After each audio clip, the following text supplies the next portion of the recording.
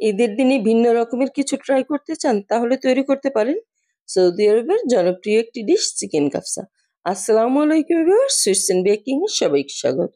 আশা করি সবাই অনেক বেশি ভালো আছেন। আজকে আমি চিকেন কাফসা কীভাবে তৈরি করা যায়, সেই রেসিপিটাই আমি আপনাদের সঙ্গে শেয়ার করব। তো চলুন মূল রেসিপিতে চলে যাচ্ছি। আমি এখানে একটা পাত্র নিয়েছি, এতে দিয়ে দিচ্ছি তিন কাপ পরিমাণে বাসমতি চাল। এই রান্নাটা মূলত বাসমতি চাল দিয়ে করা হয়। এটাকে আমি পানি দিয়ে ভিজিয়ে রাখব বিশ মিনিটের মতো। তার আগে সুন্দর করে পরিষ্কার করে নিব, যেন এতে কোনো ময়লা না থাকে। এটা ভালোভাবে কষলে কষলে ধুয়ে নেবেন, পরিষ্কার করে তারপর ভিজিয়ে রেখে দেব। এরপরে চলে যাচ্ছি অন্য প্রিপারেশনে এখানে আমি চিকেন নিয়েছি। দেখুন চিকেনটা এভাবে কেটে নিয়েছি ভিতর থেকে। আপনারা চাইলে ব্রয়লারও নিতে পারেন। আমি এখানে সোনালি মুরগি নিয়েছি। এভাবে একটু কেটে দিচ্ছি যাতে এটা ভালোভাবে সিদ্ধ হয়। দেখুন, এই যে কাটা হয়ে গেছে। এখন আমি চুলে একটা প্যান বসিয়ে দিয়ে এতে দিয়ে দিচ্ছি ওয়ান কাপ তেল। এই রান্নাটা খুব বেশি তেলের প্রয়োজন হয় না। তারপরে এতে দিয়ে দিচ্ছি এক কাপ পরিমাণে পেঁয়াজ। পেঁয়াজটা আমি কালার চেঞ্জ হওয়া পর্যন্ত একটু ভেজে নেব। দেখুন, এটার কালার চেঞ্জ হয়ে গেছে। এ পর্যায়ে এতে আমি কিছু মশলা দিয়ে দিচ্ছি। দিয়ে দিচ্ছি তিনটা এলাচ, একটু ফাটিয়ে দিয়েছি। দিয়ে দিচ্ছি লবঙ্গ কয়েকটা। দিয়ে দিচ্ছি দারুচিনি দুই টুকরা, তেজপাতা তেজপাতা দুইটা একটু ছিঁড়ে দিয়েছি। দিয়ে দিয়েছি কালো গোলমরিচ। আরও দিয়ে দিচ্ছি আস্ত জিরা দিয়ে আমি ভালোভাবে একটু কষিয়ে নেব। দেখুন, আমি কষিয়ে নিচ্ছি। এখন এতে দিয়ে দিচ্ছি সেই মাংস, যা আমি পরিষ্কার করে কেটে রেখেছিলাম। আপনারা চাইলে একটা মুরগি দিয়ে চার টুকরাও করে নিতে পারেন বা আমার মতো এরকম দুই টুকরা করেও নিতে পারেন। দিয়ে আমি এর কালার চেঞ্জ হওয়া পর্যন্ত রান্না করব।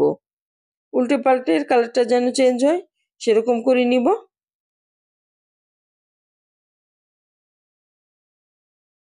দেখুন, এর কালারটা কিন্তু অনেকটাই চেঞ্জ হয়ে আসছে।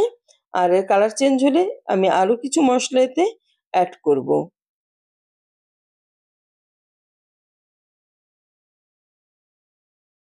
এই যে দেখুন, এর কালারটা কিন্তু চেঞ্জ হয়ে গেছে।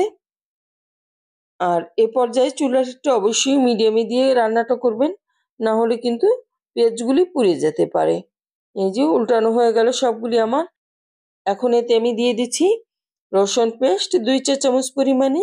দিয়ে দিচ্ছি আদা পেস্ট দুই চা চামচ পরিমাণে। দিয়ে আমি একটু হালকা কষিয়ে নিব যেন আদা রসুনের গন্ধটা চলে যায়।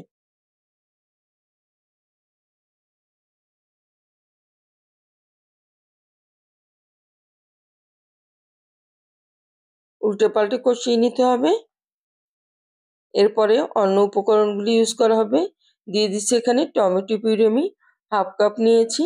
আরও দিয়ে দিচ্ছি দুই চা চামচ পরিমাণে টমেটো পেস্ট অর্থাৎ একটু ঘন টাইপের টমেটো এটা। দিয়ে দিচ্ছি স্বাদ মতো লবণ। আপনারা যে পরিমাণ উপকরণ ইউজ করবেন সে অনুযায়ী লবণ দিয়ে দিবেন। দিয়ে দিচ্ছি গরম মশলা গুঁড়া, এক চা চামচ পরিমাণে গোলমরিচের গুঁড়া।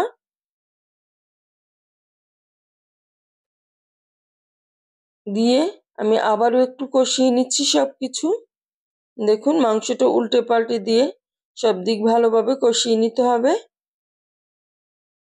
এ পর্যায়েতে আমি কিছুটা লেবুর খোসা কোরানো দিয়ে দিচ্ছি, কারণ এই রান্নাটাতে মূলত শুকনো লেবু ইউজ করা হয়। আমাদের দেশে সেটা যেহেতু পাওয়া যায় না, তাই আমি লেবুর খোসাই দিয়ে দিলাম। আরও কিছু মশলা অ্যাড করে দিলাম, লাল মরিচের গুঁড়া, ধনে গুঁড়া সব কিছু দিয়ে আমি আবারও কিছুক্ষণ কষিয়ে নিব উল্টে পাল্টে। যেন কোনো কাঁচা গন্ধ না আসে দিয়ে।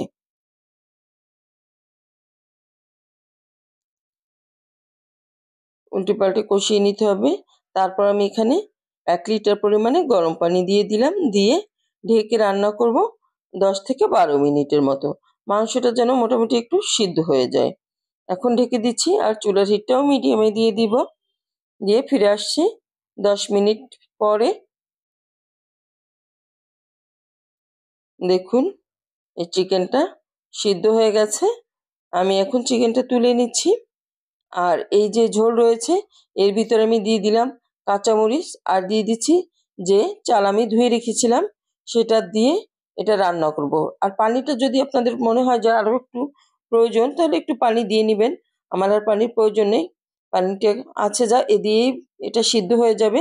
এখন ঢেকে আমি মিডিয়াম লো হিটের মাঝামাঝি দিয়ে এটা রান্না করে নিব। এর পানিটা অনেকটাই শুকিয়ে গেছে, দেখুন। এ পর্যায়ে আমি একটা কাপড় দিয়ে ঢেকে দিচ্ছি যাতে রাইসটা নরম না হয়ে যায়।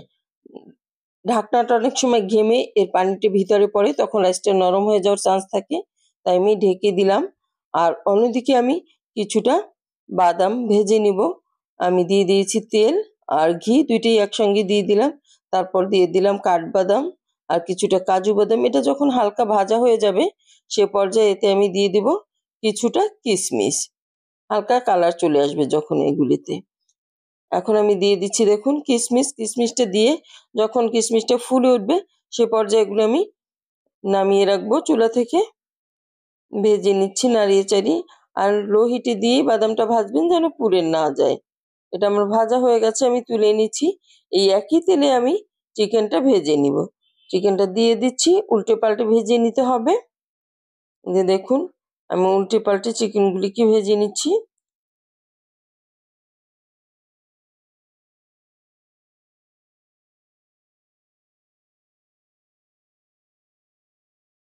চিকেনটা প্রায় ভাজা হয়ে গেছে। এখন আমি চিকেনগুলিকে রাইসের ভিতরে দিয়ে দিব। আর এই রাইসটা কিন্তু খেতে অনেক মজার। আপনারা বাসায় ট্রাই করবেন এই দিয়ে দিন। তাহলেই বুঝতে পারবেন যে এটা আসলেই কতটা মজার। আপনারা যদি চান চিকেনটা একটু কম ভাজতে, তাও ভাজতে পারেন। আমার বাচ্চারা একটু বেশি এরকম পছন্দ করে, তাই আমি এরকম করে ভেজে নিয়েছি। আমি এখন রাইসটির ভিতরে দিয়ে দিলাম, দেখুন। রাইসটাও একদম প্রায় রান্না হয়ে গেছে। এর ভিতরে দিয়ে আমি আরও কিছুক্ষণ দমে রাখব, তারপরে রান্নাটা কমপ্লিট হয়ে যাবে। দিয়ে দিচ্ছি।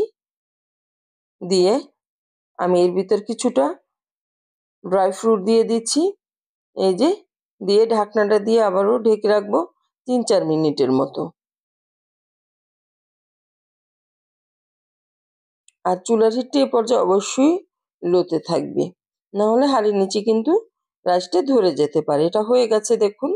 এখন আমি একটু দেখিয়ে দিচ্ছি এটা কতটা ঝরঝরে আছে। দেখুন এই যে, একদম ঝরঝরা চিকেন কাপসা তৈরি হয়ে গেল। আমি একটু একটা সার্ভিং ডিশে সার্ভ করে আপনাদের দেখিয়ে দিচ্ছি।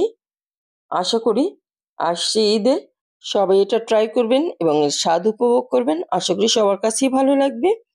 এই যে রেডি হয়ে গেল। আমি একটু বাদাম দিয়ে এটা ডেকোরেশন করে দিচ্ছি।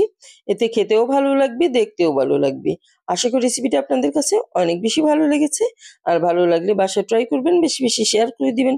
সবাই অনেক বেশি ভালো থাকবেন। আল্লাহ হাফেজ!